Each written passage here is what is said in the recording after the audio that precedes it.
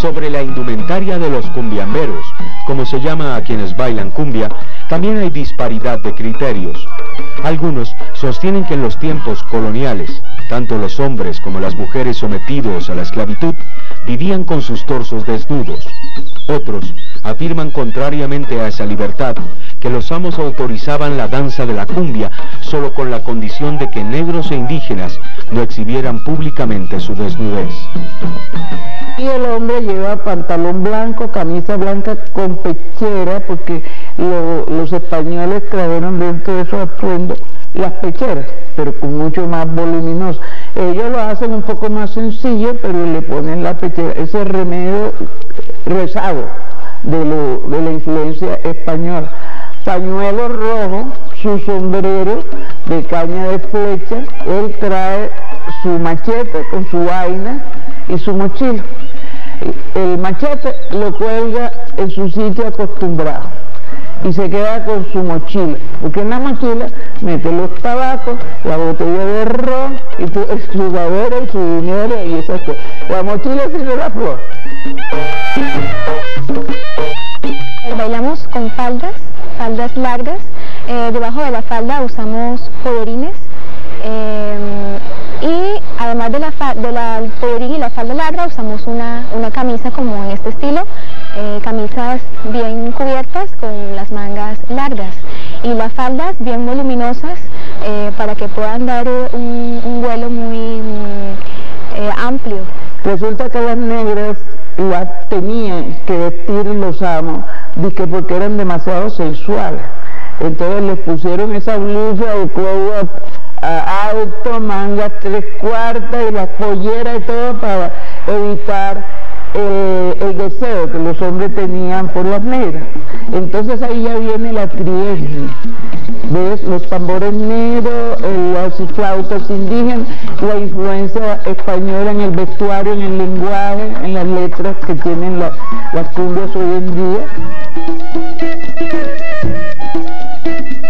Principios del siglo XX, al aparecer las bandas de músico de pueblo conocidas como papayeras, la cumbia empezó a insinuarse como música vocalizada.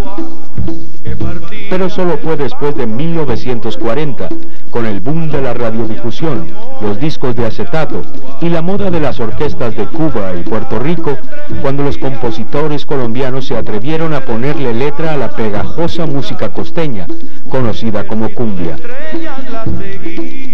Nombres como José Benito Barros, Ramón Ropaín, Lucho Bermúdez, Daniel Lemetre y Pacho Galán, entre otros, le dieron a la cumbia una dimensión nacional que luego se regó por todo el continente americano.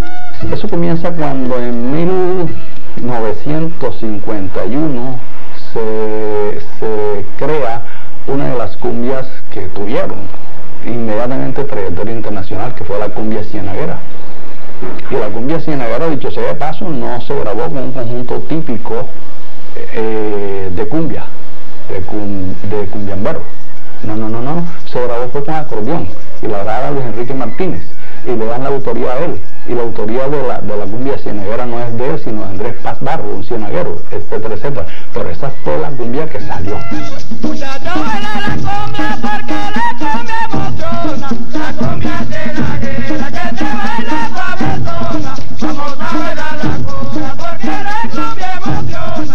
Hablar de cumbia colombiana es redundante, porque la cumbia es solo aquella que nació junto al mar Caribe de Colombia, de donde se proyectó a otros países que han querido apropiarse de ella o de la cual han hecho grotescas imitaciones. La cumbia tuvo su auge en la portada y entonces se nos conocía en el mundo a través de la cumbia. Todos los mexicanos quisieron hacer su propia cumbia y también los otros, pero cuando tú llegas a la realidad, tú te das cuenta que de cumbia no tiene nada. ¿Ves? Porque el acento y la forma interpretativa que tiene el colombiano para hacer la cumbia es muy específica.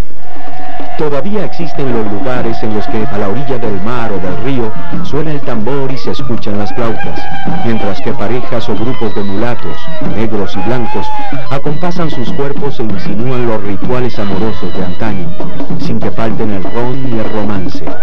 Unos y otros bailan sin cesar el ritmo que recuerda el origen de una nación. Mientras en nuestra sangre caribeña colombiana exista un glóbulo rojo negro sediento de un trago de ron o que vibre al golpe de un parche de tambor, la cumbia subsistirá.